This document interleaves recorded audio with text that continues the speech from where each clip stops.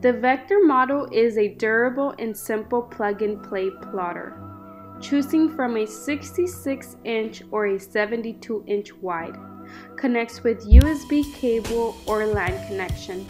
The plotter comes with one head, two heads, or four heads using HP 45 cartridge. The one head plotter is printing at the speed of 25 to 35 yards per hour.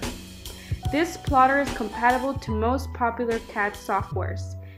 The Vector model can hold a 500 yard roll of paper, plotting up to 200 yards to the take-up bar continuously, or it can also print onto the floor without using the take-up bar. When plotting onto the floor, it is used when plotting a small run. For example, a small marker of 5 to 10 yards. No need to plot onto the take-up bar.